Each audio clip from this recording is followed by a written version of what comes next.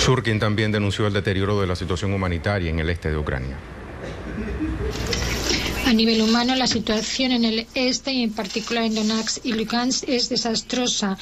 Hoy, con toda certidumbre, podemos hablar de una auténtica guerra.